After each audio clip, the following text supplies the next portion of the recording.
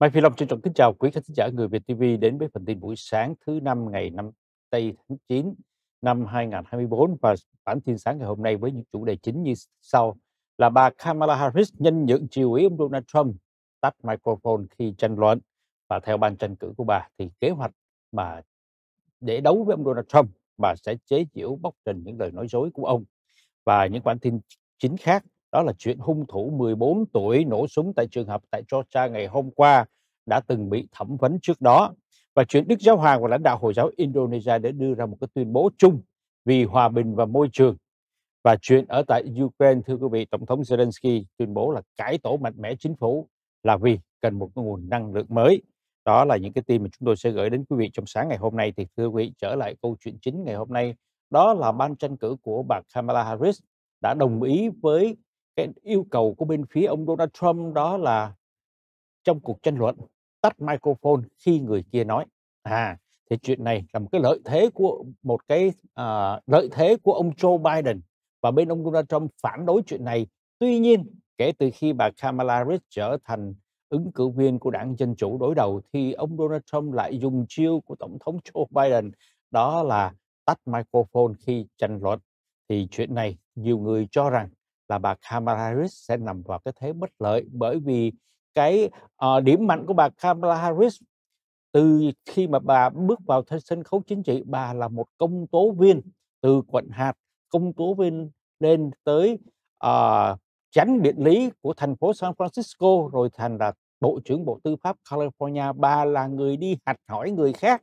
bà là người là bóc ra những cái lời biện bạch của các tội phạm.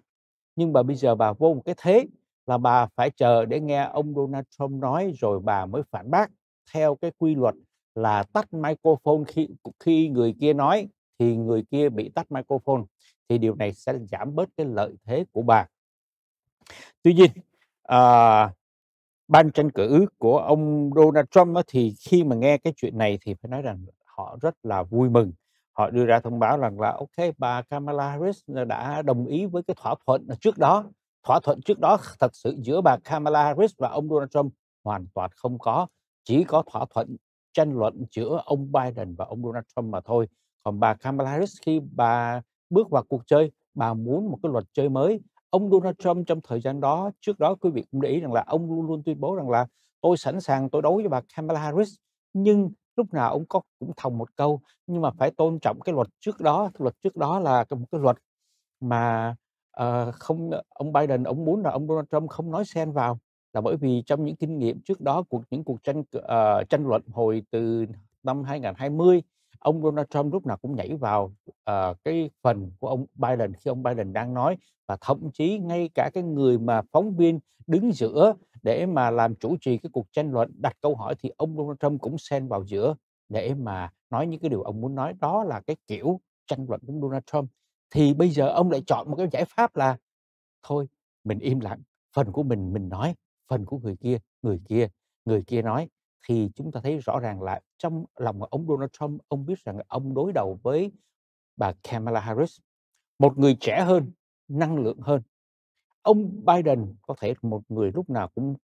cẩn trọng hay là một người nghiêm nhặt trong những cái lời nói mà là ông phải đưa ra những chi tiết, những cái lý do phải vững vàng nhưng mà bà Kamala Harris là một người đã quen thuộc trong cái gọi là sân khấu của uh, tòa án. Những khi nghị án những khi công tố thì bà là những bà là đóng cái vai trò là người lên tiếng nói chỉ trích mạnh mẽ và bẻ lại những lời của các luận sư luật sư biện hộ.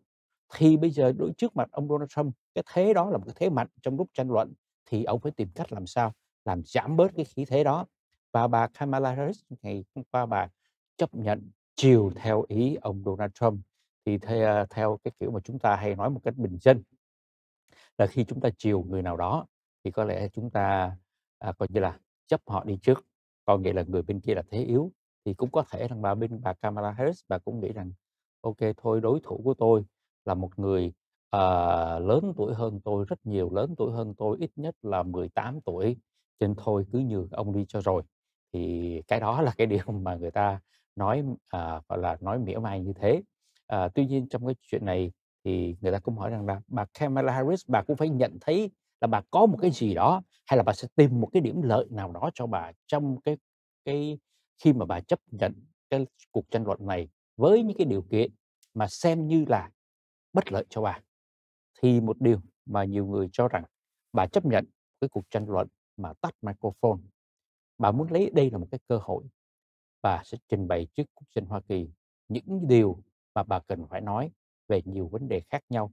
Thứ nhất về chính sách, chính sách kinh tế của bà sẽ khác chính sách kinh tế của Tổng thống Joe Biden và chuyện đó đã thể hiện ngày hôm qua khi ông Biden đã từng đưa ra uh, cái kế hoạch là nâng thuế doanh nghiệp, nâng thuế doanh nghiệp nha quý vị, từ 21% lên 29%. Ngày hôm qua bà giảm xuống chỉ còn 28% và nói 28% so với 21% chúng ta nghĩ là cao, nhưng quý vị phải nhớ trước năm 2017 là thuế doanh nghiệp của bao nhiêu đời tổng thống trước đó là 35%. Thì cái chuyện 28% của bà Kamala Harris Harris đưa ra ngày hôm qua nó nhẹ hơn với cái kế hoạch của ông Biden mà nó cũng không phải là quá đáng nếu mà chúng ta so vào những thập niên trước. Thì uh, ông Donald Trump ngày hôm qua trong cái cuộc là gọi là town hall meeting họp dân phố uh,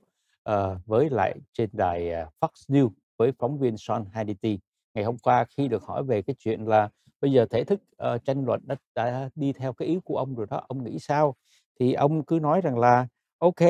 uh, tôi uh, tôi để cho bà ấy nói. Chúng ta thấy cái chuyện này hơi ngược ngạo. Chính ông là cái người mà đòi tắt microphone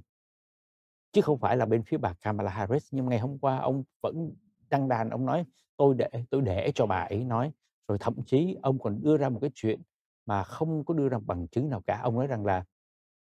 hệ thống truyền hình ABC là cái nơi mà hai người sẽ tranh luận trong ờ, ngày 10 tháng 9 sắp tới. Ông nói để hệ thống trại truyền hình ABC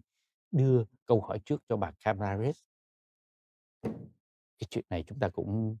nghe ra thì chúng ta cũng ngán ngẩm và chúng ta cũng khá là quen ông Donald Trump cứ bịa đặt những câu chuyện như thế và không bao giờ ông đưa ra một cái bằng chứng nào cả mà người ta cũng chẳng buồn bây giờ nhiều khi có những chuyện cũng không buồn không buồn để mà truy cứu những lời nói của ông Donald Trump thì đó là những chuyện à, mà chúng tôi muốn à, kể, kể cho quý vị nghe về cái thỏa thuận là bà Kamala Harris coi như là chiều ý ông Donald Trump nhân nhượng cho ông để mà cho ông được nói và bà không có xen vào bởi vì microphone sẽ bị tắt tiếng. Xa qua một cái câu chuyện liên quan đến vụ uh, thảm sát súng ngày hôm qua ở một tại trường trung học ở tại tiểu bang Georgia, thưa quý vị, nước Mỹ lại tiếp tục chấn động những chuyện nổ súng và bây giờ nổ súng ở trong trong trường học. Và cái chuyện này thưa quý vị nó cứ xảy ra là thường xuyên ở tại nước Mỹ. Đến mức là chúng ta đã từng nghe cựu tổng thống Barack Obama nói rằng là cứ lâu lâu một lần cứ lâu lâu một lần là chúng ta cứ lên trên các diễn đàn quốc gia để mà đưa ra những lời cầu nguyện, để đưa ra những lời chia buồn vì những cái vụ nổ súng. Và bây giờ vụ nổ súng trong trường học. Cái vụ nổ súng này gây ra bởi một học sinh là 14 tuổi. Tuy nhiên những cái cuộc điều tra sáng ngày hôm nay cho biết rằng là các cơ quan thẩm quyền đã từng thẩm vấn em học sinh này trước đây những cuộc phỏng vấn này đưa ra đến cái chuyện là em này cũng đưa ra những cái lời đe dọa là dùng khẩu súng của bố mình để mà đem bắn các học sinh khác. Và em này đã bị các cơ quan thẩm quyền, gọi là, điều tra và thẩm vấn. Tuy nhiên, không có một cái hành động nào đi kéo theo sau để mà giải quyết vấn đề, để xảy ra một cái sự việc như ngày hôm qua. Chúng ta chúng ta được biết cái vụ xả súng này thưa quý vị, đã làm cho bốn người thiệt mạng, trong đó là hai học sinh, hai giáo viên và ít nhất là có 9 người bị thương trong cái vụ xả súng ngày hôm qua. Thì thưa quý vị, đây là những cái sự kiện mà đối với những người dân Hoa Kỳ, chúng ta cứ lâu lâu chúng ta lại nghe chuyện này. Nhưng khi mà đưa ra những các dự luật để mà kiểm soát việc sử dụng súng gắt gao hơn thì đảng Cộng hòa lúc nào cũng tìm cách ngăn cản. Và có lẽ rằng chúng ta nghĩ trong thời gian sắp tới cũng lại sẽ nghe một cái tin nào đó không bắn chỗ này, không bắn chỗ kia và có lẽ sẽ có những cái tin bắn ở trong trường học giống như cái vụ này. Mới đây, cách đây năm ngoái, tất cả nước Mỹ đều gọi là bàng hoàng trước vụ nổ súng ở trường tiểu học Uvalde ở tại Texas. Nhưng mà sau những cái vụ đó, những tiểu bang, gọi là, ủng hộ súng mạnh mẽ, họ tiếp tục họ không lùi bước trong cái việc mà là đáp ứng lại với cái đòi hỏi của xã hội là kiểm soát súng, kiểm soát những người mà mua súng phải kiểm tra lý lịch của họ. Nhưng mà bên phía Cộng hòa họ nhất quyết là để súng bừa bãi và cái chuyện này tiếp tục tiếp tục diễn ra ở tại xã hội Mỹ.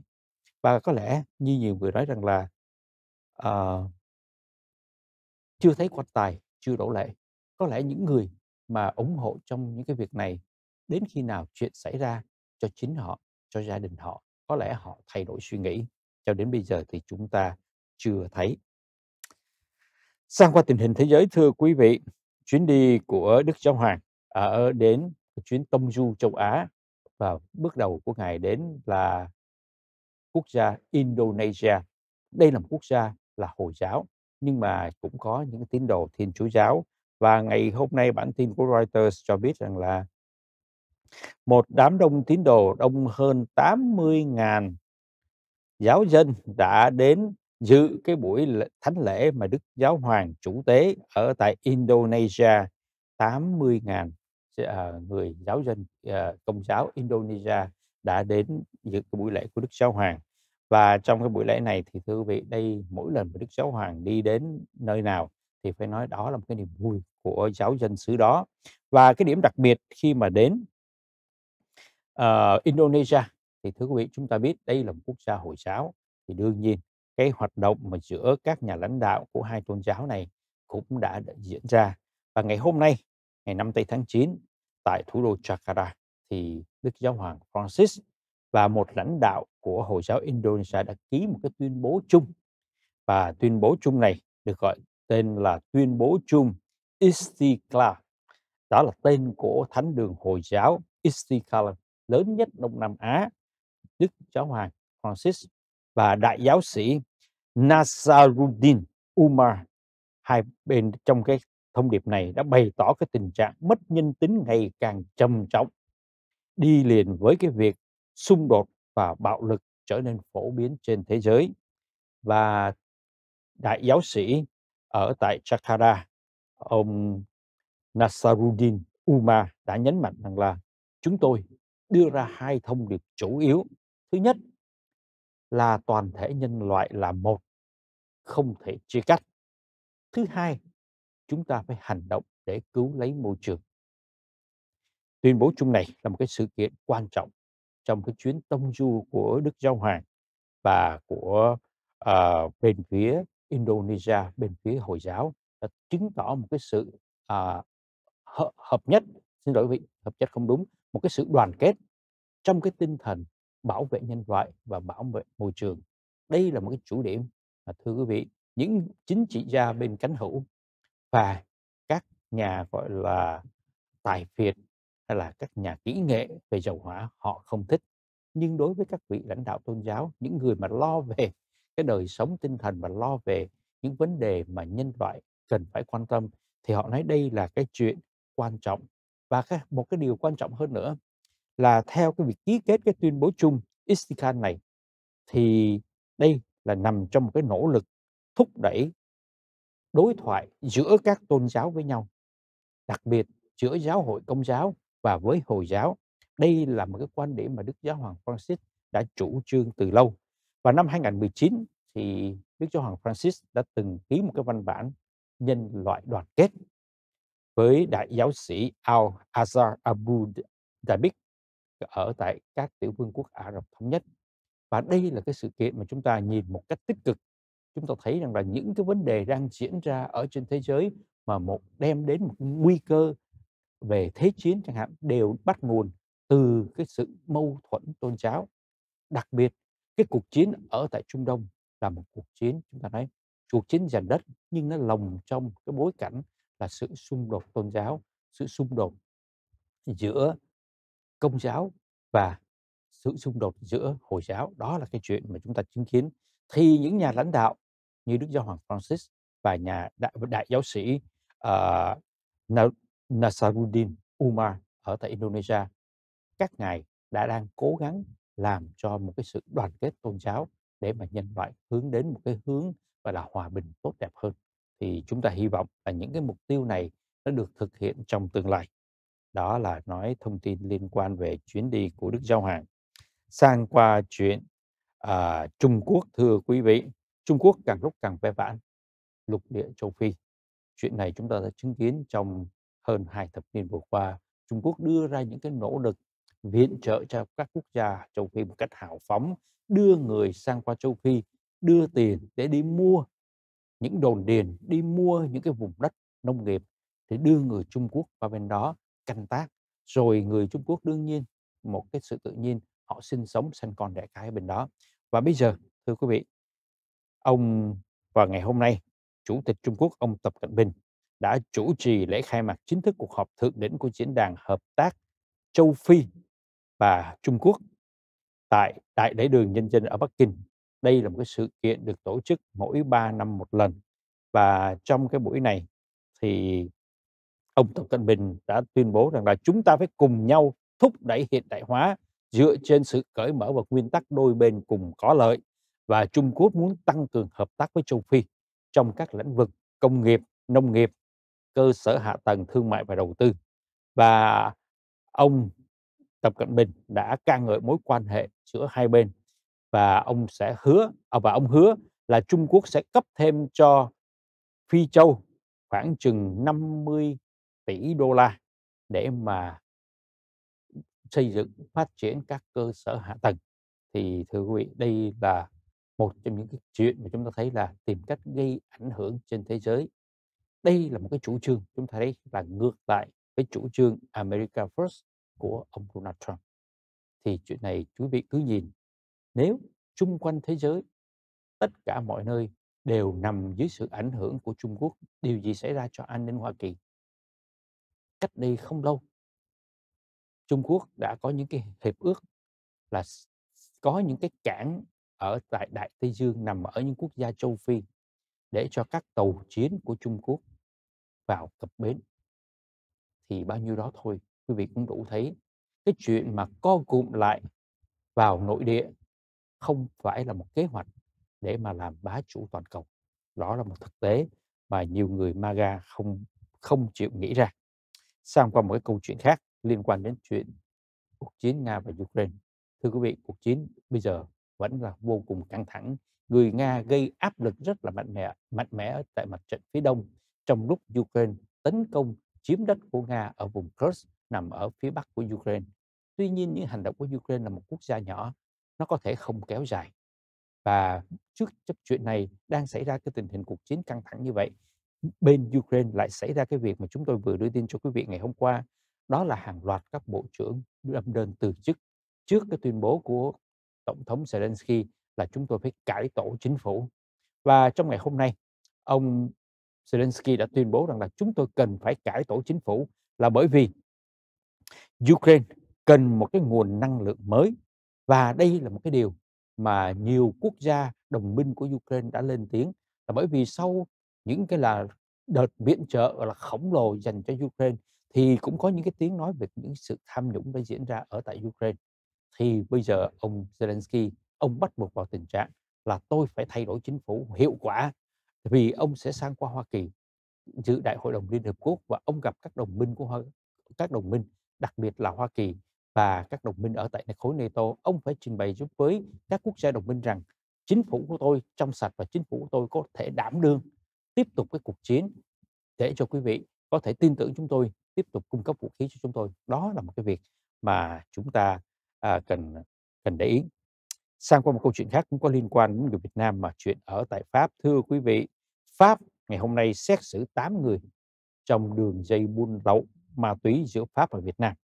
Thì ngày hôm nay một tòa án ở Pháp đã mở một phiên xét xử 8 người trong đó có hai hai người phụ nữ từ 36 cho đến 71 tuổi